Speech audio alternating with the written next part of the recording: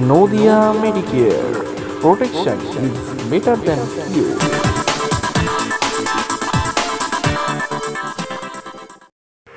Subscribe করুন Nadia Medicare YouTube চ্যানেলকে এবং বেল আইকনটি ক্লিক করুন সবার প্রথমে লেটেস্ট ভিডিওগুলির আপডেট পাওয়ার জন্য নমস্কার বন্ধুরা নদিয়া মেডিকেয়ার ইউটিউব চ্যানেলে আপনাদেরকে জানাই স্বাগত আজ আমি এমন এক পোস্ট নিয়ে হাজির হয়েছি, যেটা কিনা মেয়েদের পিরিয়ডের পূর্বে কি কি খাদ্যাভ্যাস জানা জরুরি, সেটা প্রতিটি মানুষেরই জেনে রাখা প্রয়োজন।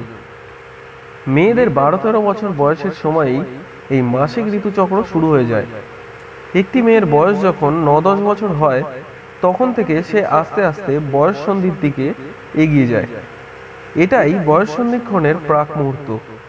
বারো তেরো বছর বয়স থেকে একটা মেয়ের শরীর এবং মনের ক্রমের বিকাশ ঘটতে থাকে। এই সময় তাদের চেহারার রদ বদল ঘটতে শুরু করে এবং হরমোনের ওঠানামা হতে থাকে। তাই এই পরিবেশকে মানিয়ে নেওয়ার জন্য চাই সঠিক পুষ্টি এবং সঠিক ডায়েট। আর সুষম ডায়েটেই সমস্ত পুষ্টি উপাদানে ভরপুর। কিন্তু তথাপি বাড়ির লোকেদের এটার সম্বন্ধে সঠিক ধারণার বড় অভাব থাকে। এই সময়ে মেয়েদের যে পুষ্টিগুণে ভরপুর ডায়েট প্রয়োজন, সেদিকটা প্রতিটা গার্জেনেরই জানা আবশ্যক। এই সময় মেয়েরা যদি সঠিক ডায়েট না পায়, তবে তাদের বৃদ্ধি ব্যাহত হয়। কেউ বা হঠাৎ করেই মোটা হতে শুরু করে, আবার এই সময় সঙ্গ দিতে শুরু করে অতিরিক্ত রক্তপাত। এর ফলশ্রুতি হিসেবে দেখা দেয় অ্যানিমিয়া, ক্লান্ত হয়ে পড়া প্রভৃতি। ভিটামিন ডেফিসিয়েন্সির মতন প্রকট সমস্যা দেখা দেয়। তাই এই বয়সের সমস্যাকে কীভাবে মোকাবিলা করবেন দেখে নেওয়া যাক, সেটারই এক ঝলক। এক কথায়, প্রথমত বলব, মেয়েদের বয়ঃসন্ধিকালের এই ঘটনা সবচেয়ে গুরুত্বপূর্ণ। আর এটাই হলো ঋতুমতি হওয়া। প্রথম ঋতুমতি হওয়ার কয়েক মাস আগে থেকেই শরীর ও মনে নানাবিধ পরিবর্তন হতে শুরু করে, যেটা সঠিকভাবে অনেকেই বুঝতে পারেন না। এই সময়ে আয়রনযুক্ত খাবার মেয়েদের জন্য বেশি বেশি করে ডায়েটে রাখতে হবে। পিরিয়ডের সময়ে মেয়েদের প্রতিদিন দশ মিলিগ্রাম আয়রন বেরিয়ে যায়। ফলে বুঝতেই পারছেন, এটা একটা চাহিদা।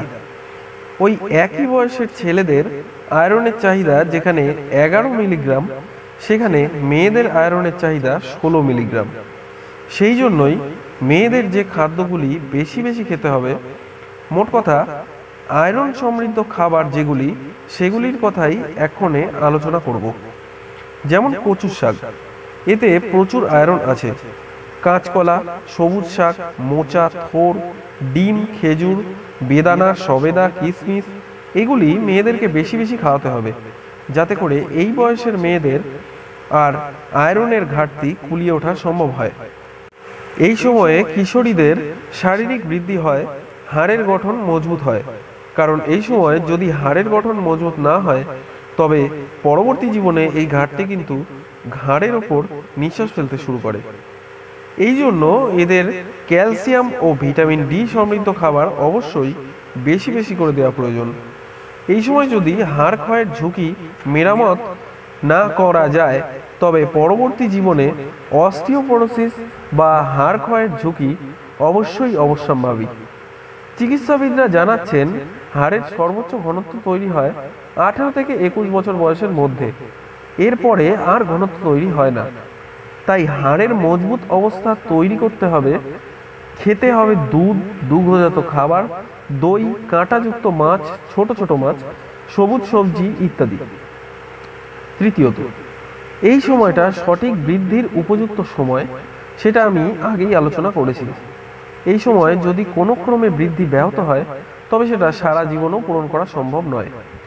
এই সময় মেয়েদের প্রতিদিন তিরিশ থেকে পঁয়ত্রিশ গ্রাম আমিষ খাবার গ্রহণ করা প্রয়োজন।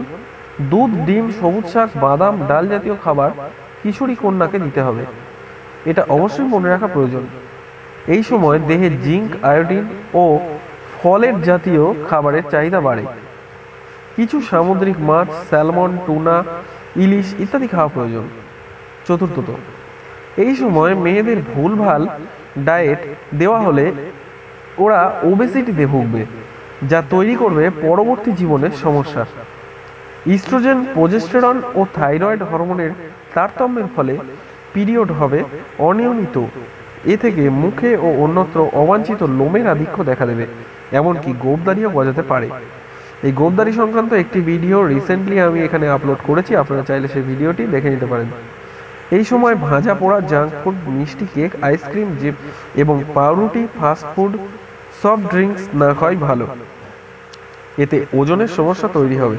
তো বন্ধুরা, জেনে গেলেন আজকের মতন এই ভিডিওটি এই পর্যন্তই। ভিডিওটি ভালো লাগলে অবশ্যই ভিডিওটিকে লাইক করুন কমেন্ট করুন এবং শেয়ার করুন এবং আপনারা যদি এই নদিয়া মেডিকেল ইউটিউব চ্যানেল নতুন হন, তাহলে অবশ্যই চ্যানেলকে সাবস্ক্রাইব করতে ভুলবেন না এবং পাশের বেল আইকনটিকে প্রেস করুন। নিত্যদিনের ভিডিওগুলির নোটিফিকেশন সবার আগে পাওয়ার জন্য। তো ধন্যবাদ বন্ধুরা, দেখা হচ্ছে পরে ভিডিওতে।